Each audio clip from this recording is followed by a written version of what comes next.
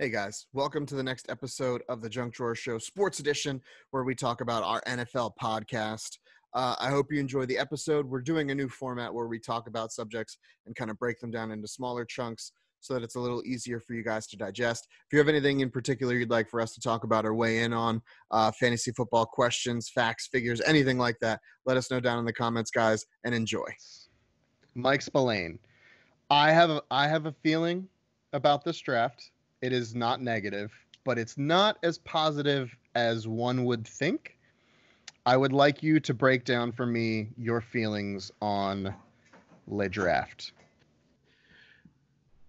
So round by round, um, first round and second round, I think we're solid. Um, I think Beyond Andrew solid. Thomas, huh? You beyond solid. You guys, I think you did really well. Because first round we got Andrew Thomas, which a lot of people thought was a reach because you had more athletic ones there, such as Jedrick Wills and Tristan Wirfs. Uh, I think that Andrew Thomas, the more that I've watched tape of him and the more that I've looked into his, you know, just kind of his background, to me, he's the most solid and starter ready tackle that was available in this draft. Um, so that means he's going to probably spend a year at right tackle behind with Nate Solder at left tackle until we can fucking ship Nate Solder's shitty contract out of here and not have to deal with him anymore.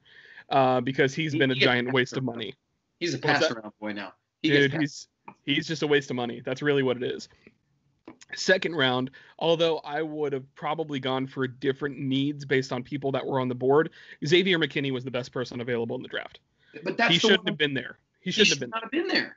So you took a top th- three that some would argue top two tackle, which is shoring up what you need, which is give Saquon space, and the best safety in in the whole thing. The one that I I wished Cuba and I were Facebook portaling, saying I think it was we had the 26th pick. Yeah. We were singing Xavier, Xavier. We were so excited that he fell. Apparently, he has character issues, I guess, but I mean, he was going to be. He should have been the replacement for you for Minkah. That's what he should have been. I know. Like we we were exci- we were doing a dance that I was drinking, we were dancing, everything was fine. Then they took a guy whose name no human can pronounce. Igbenogamy. Igbenogamy. Bless you. Monogamy. Thank you.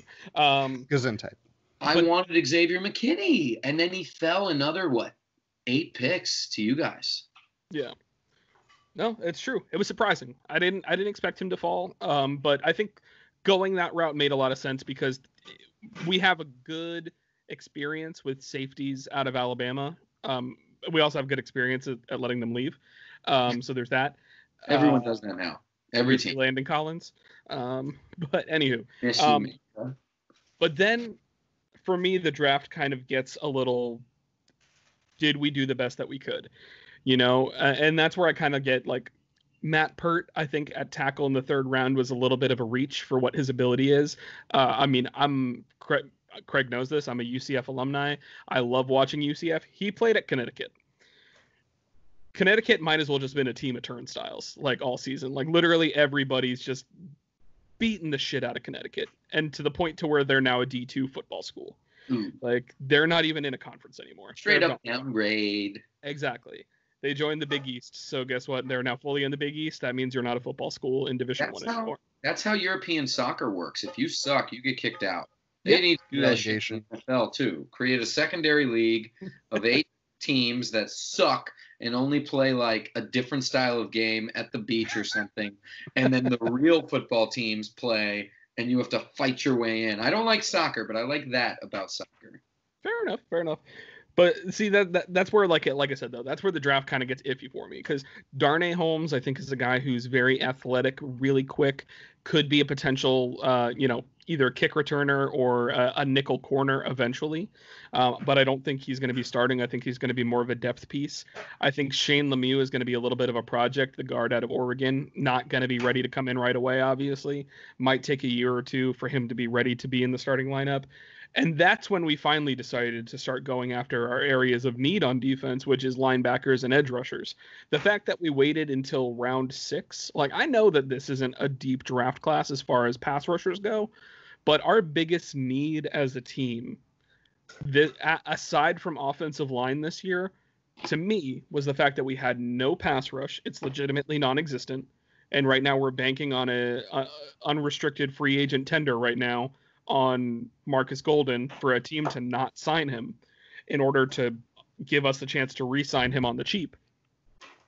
We banked on that, and and then I don't know. It, it's just it's questionable to me the fact that we didn't value pass rush when there was good pass rush available at times. Um, like for instance, there was a guy from Utah who fell that I think Dallas got like two picks before us in like the sixth round that they had a third round grade on. Like a guy so, falls that far, why didn't you trade up and get him? You know. In in your watching of the draft, what was the most frustrating pick? What was the pick that was made that made you go, but why? And, uh, and who would you have rather had in that moment? For me, it was uh, round three, Matt Peart. That's the one that's the but why. Because for me, that's a little bit of a reach. In an ideal world, what I would have done based on what was on the board at that time, I would have tried to trade up a couple picks to get a center. Because the center is something that we need. Uh, and uh, Cushenberry the third from LSU, so a national championship winning center, was still available up until like 10 picks before we went and it's not going to be that expensive to trade a late third round pick for a mid third round pick. It's not going to be that much that you're going to have to give up capital wise. And I know that we're in a, scenario right now where we don't want to sacrifice too much capital. And we're apparently, uh, Gettleman said he does not want to sacrifice capital for next year's draft already. So who knows? I'm not sure about that. But so I'll pose the question. This is going to go to both of you guys because I feel like we've spent a lot of a lot of time on specific teams, and I like that. I like the specifics. But personally, for me, as an armchair GM, as at, that I am, and that we all are, especially come fantasy football time, Fun. I'm all about spending draft capital for next year because I don't know where I'm picking next year to move up and get my guys this year, especially with the situation that we currently find both both of your teams in. The giants not setting the world on fire the dolphins not setting the world on fire. If you can move a fourth fifth sixth seventh whatever next year in order to move up in this draft to get a guy who's your guy a guy you believe in do you pull the trigger on that? Yes. Yeah i, I would say that that's a 90% yes. The only time the ten, the one out of 10 that i just can't see it is is when guys that you didn't see coming fall, like what you guys snagged in Xavier, right? You you don't see that coming, and then you you take the pick. You do that can happen later in the draft also. There's tiers to the NFL draft. There's and you, you guys said it. It was kind of a thin edge draft, right? You had Chase yeah, Young, yeah. you had arguably what Simmons and a few other guys, and then it was like, okay, that position we're going to wait two rounds. Well, here's the thing about a draft, right? You're in round three, you're in round four. Everything else is irrelevant. It's only here. So if you think there's a guy that's a tier and there's a drop off after that, I think you do whatever the hell you can do to if you if he's there, you grab him, and you don't you don't use capital to get more. You do what you're saying. You jump up ninety percent. You know that ninety percent. But but one out of ten, there's going to be a guy there, and you wait and you get him. You know, I, I I just think that it's it's all about the strategy play when you're late rounds. Cuba and I used to watch the whole draft, which I can't do anymore. They spread it out on too many days. It's not I can't drink that much all those days in a row. we watched the whole round one. It was like four and a half hours. And I yeah. liked it was did you guys do it too? Mm-hmm. Yeah. Yeah, it's fun. But but it used to be Saturday, Sunday. So you get rounds one and two, and I think or one, two, and three. I can't remember. I think and it was one, two, and three. I think it was one, two, and three. And we would drink all weekend when we lived together. It was this amazing thing. And that's when we knew a depth of player that just no adult over 30 can know anymore. You just can't. I knew guys that were just barely in the business. They were holding jock straps. But yeah, long answer, short question. Yes.